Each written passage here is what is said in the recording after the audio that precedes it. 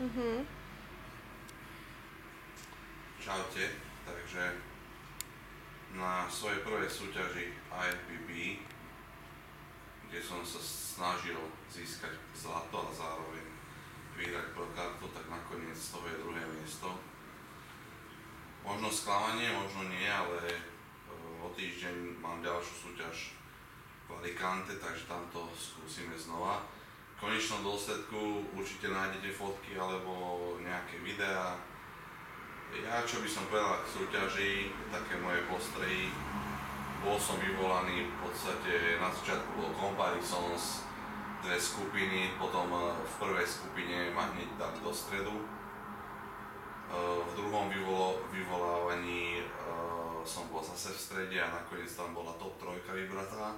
Medzi ňou som bol aj ja, kde ma potom dali späť do stredu opäť a v závere vlastne, keď uh, sme bojovali, bo išlo prvé, druhé miesto, tak uh, tam som vlastne uh, bojoval vlastne s Talianom o prvé miesto. Všetko nasvedčovalo tomu, že skončím prvý, skončilo to inak. Samozrejme môžete si spraviť svoj vlastný obraz. Bodybuilding je veľmi subjektívny šport a veľmi subjektívne hodnotený, takže nebudem hovoriť, že či to bolo spravodlivé alebo nebolo, to si každý musí spraviť svoj vlastný posudok o tom, keď uvidí nejaké fotky alebo videá. Samozrejme, nevešiame hlavu, je to prvý krok k tomu, aby som sa dostal do profíkov a verím, že sa tam dostanem, len a bude to trvať možno trošku dlhšie. Takže celkovo som so súťažou spokojný, trošku ma sklamala organizácia z toho hľadiska, že uh, súťaž sa začala síce o tretej, ale my sme na pódium mali ísť okolo, okolo 4. pol 5. a nakoniec sme išli až o 7. čo vlastne z hľadiska časovania formy a týchto vecí okolo toho všetci dobre viete, je dosť neprí, neprípustné a uh, keď časujete si formu na nejaké hodiny a zistíte, že idete na podium až o 3 hodiny neskôr, tak dosť to môže závažiť aj s formou celkovú unava robí svoje. To je taký, taký také mínus toho celého, že vlastne ten timing nebol až tak presne dodržaný.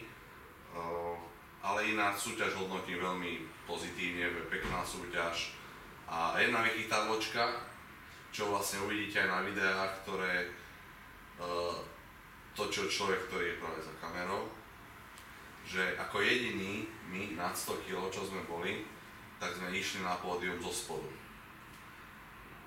Akože grande kategória, najťažšia, najlepšia jedna s druhým. Takže to bola taká, že šmrncovná vec, čo vlastne ja som nevedel, že nie každý tak išiel, len my sme tak išli. Mal to taký ten dobrý nádych toho, toho vrchol, tá perla večera. Takže druhé miesto v najťažšej váhovej kategórii. Budúci týždeň Alicante, Benidorm, ďalší pokus. Forma bude určite lepšia, ťažký týždeň nás čaká, ale, ale určite budem referovať, síce možno horšie ako teraz, pretože tam idem sám, ale, ale určite vám podám nejaké informácie.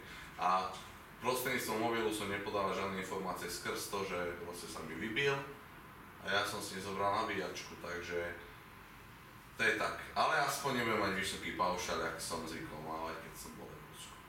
No a to videli. Takže ďakujem za sledovanie a dúfam, že sa videa budú ľúbiť, čo sme natočili, všetky,